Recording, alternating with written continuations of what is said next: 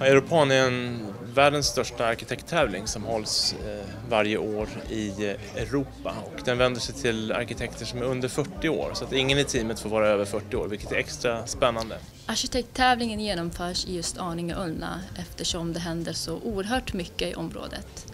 Här växer flera nya stadsdelar fram med bostäder, arbetsplatser, rekreation och så vidare.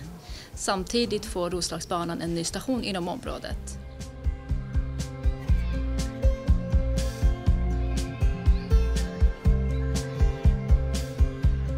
Vi kommer att bjuda in till en bred debatt om de här tävlingsförslagen på olika sätt. Vi välkomnar väldigt mycket att det här blir en bred diskussion. Det är lite syftet av tävlingen också, att sätta Arninge och Ullna på kartan både i kommunen men också få en internationell eh, input i det här området.